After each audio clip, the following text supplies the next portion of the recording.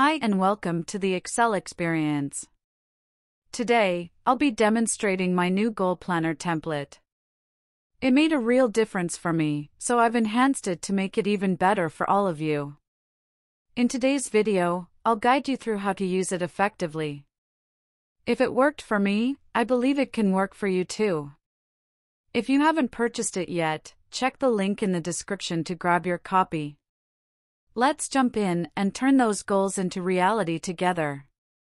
This template is designed in Google Sheets. In total, there are five sheets in this template.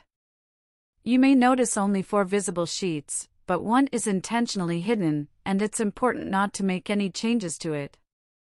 The first one is instructions, providing a brief, step by step guide on how to use the sheet. When you receive this spreadsheet, it's a clean slate.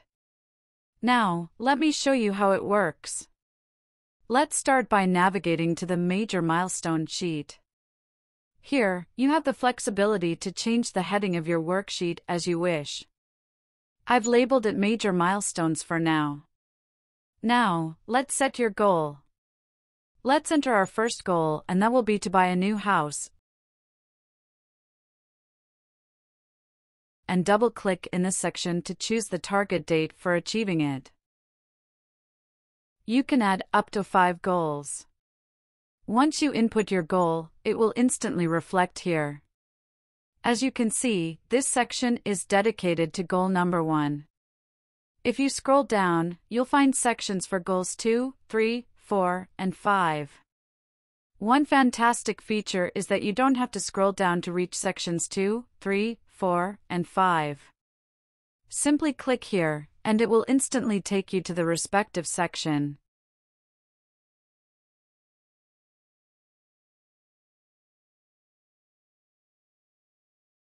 Here you'll describe the desired outcome you aim to achieve from this goal. For instance, mine is comfortable, cozy home for family. The target date has already been populated here. Now, let's outline the action plan to achieve this goal.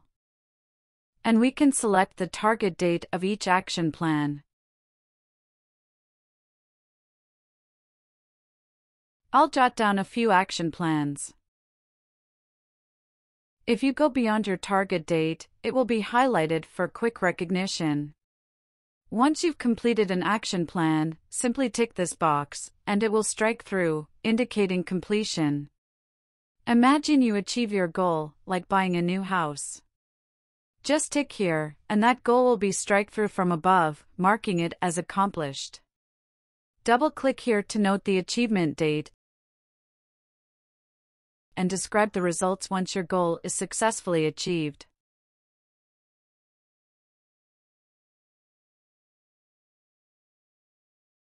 Moving forward, access the monthly planner by specifying your desired year and month. In the Year tab, I'll select 2024. First, let's review the log sheet as it serves as a crucial link to the monthly planner. In the log sheet, we'll document our short-term goals along with their target dates.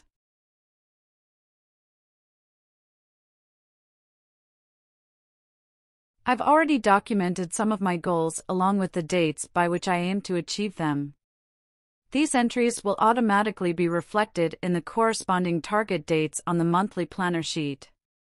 Now, let's see it in monthly planner sheet. By using the drop-down menu, you can easily switch between months and observe the entries from the log sheet reflecting year. Additionally, you have the flexibility to change the start of the week to either from Monday or Sunday. The calendar will dynamically adjust accordingly based on your preference. In this section, you can track the total number of goals, those already achieved, and those yet to be accomplished. Since we haven't specified achievement dates yet, the count for achieved goals currently stands at zero. Let's add achievement dates. Simply double-click in this area to select the date. If it's beyond the target date, it will be highlighted for easy identification.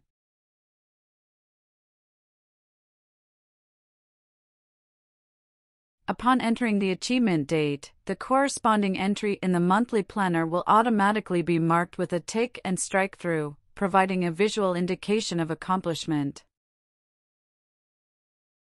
Furthermore, the chart will be automatically updated to reflect the latest achievements, ensuring a real-time visualization of your progress.